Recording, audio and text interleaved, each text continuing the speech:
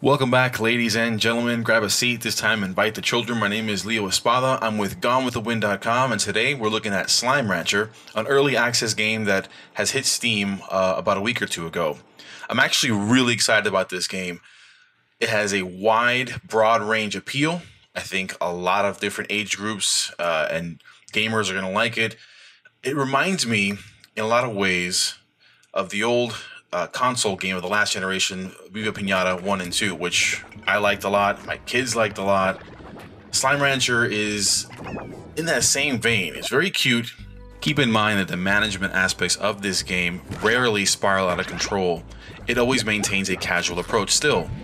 The game offers you so many things to experiment with, and so many areas to explore, it masks any extreme challenges which I don't believe are necessary in a game of this type.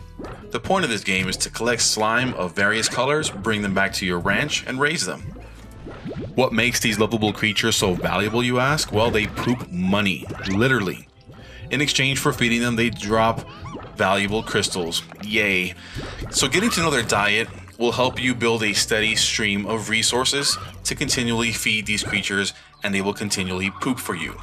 These plort crystals can be taken over to this exchange machine, shot inside, and automatically your account is applied the adequate resources. Now, as you can see, these colors have different values. So different creatures drop different colored plorts that match the creature, and they have different values. At this stage in the game, I have several nocturnal creatures, and I've used my money to upgrade the solar tint, uh, netting, and large corrals so they don't fly away how you spend your money will reflect the kind of farm that you have, obviously, since each creature has different needs, has different dietary demands. But overall, feeding them, maybe turning on the music for them, will keep them happy. Out in the wild is where you can replenish your resources, find more vegetables, pick up loose plort, and capture wild slime. Fortunately, there's just so much to explore there's secret caves and nooks and other areas that are just not obvious at first glance. I've traversed these, this map many, many times and I am still finding new areas that were right under my nose. These new areas contain new slime, new vegetables, new fruits, other things to experiment and toy with that are worth your while. The game has a lot of hidden secrets and they don't spell out exactly how to solve them, giving room to plenty of experimentation in order to unlock some of the game's more interesting secrets. Combining different plort with different colored slime will yield new creatures. In this case, this little guy is called a rock slime, and as he eats a gray tabby plort, he turns into a half kitty, half rock thing. Experimenting of this type will generate new creatures. Now, you gotta be careful. If you combine three colors, you'll end up with one of these terrors. They're called tar monsters. They eat you, they eat other slime. They can wreak all kinds of havoc in the game. Now, injecting them into the ocean is probably the quickest solution that I came up with for getting rid of them, but you can also invest in incinerators and drop anything you don't want inside of those things. These nasty tar monsters represent some of the dangers out in the wild, and care must be taken for, to have them not spawn in your own farm.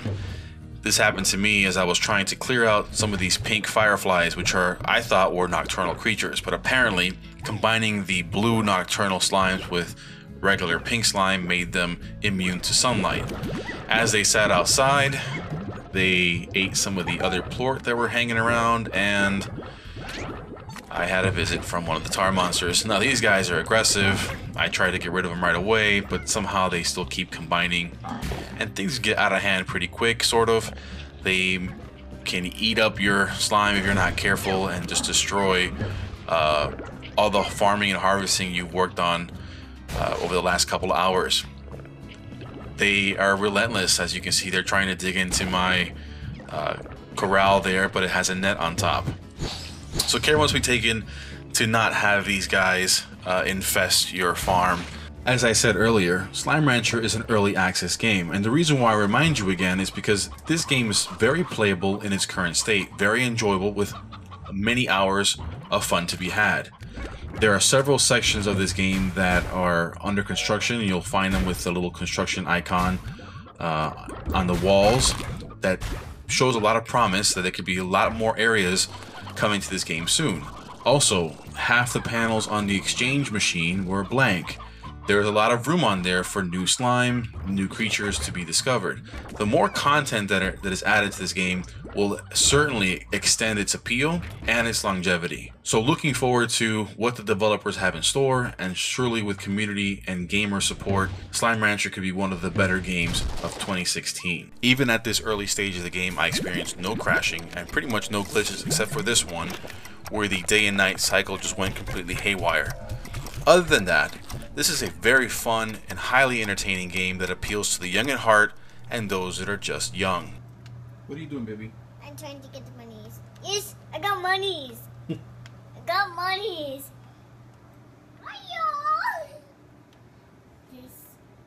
That was my four year old daughter, who's already a huge fan of Slime Rancher. It's going to be exciting watching this game develop and grow, and as content is added, and there's more things to explore and experiment with. I'm already very excited about this game, and I hope you're encouraged to give it a try. I have a feeling you're going to love it.